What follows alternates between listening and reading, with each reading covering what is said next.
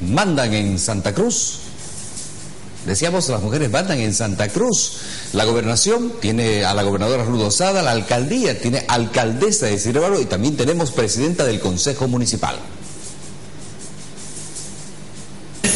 como nueva alcaldesa.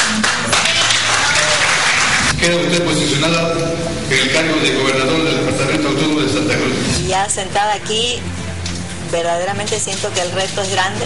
Todavía eh, no hemos hablado con todos los trabajadores. Darle tranquilidad a todos los vecinos, vecinas de esta ciudad, que este gobierno municipal y la alcaldía municipal no se va a parar por un cambio que ha habido de alcalde, sino que vamos a dar continuidad.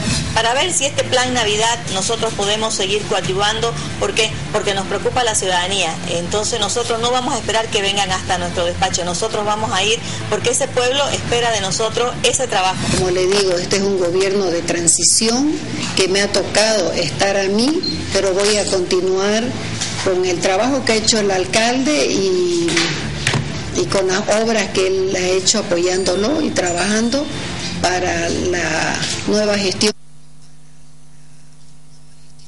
Inició hoy su primer día de trabajo como alcaldesa de Santa Cruz. Ella ha dicho de que no habrán cambios en su gabinete y también que va a continuar con los proyectos del ex alcalde Percy Fernández. Mi primer día de trabajo oficial como alcaldesa de Santa Cruz,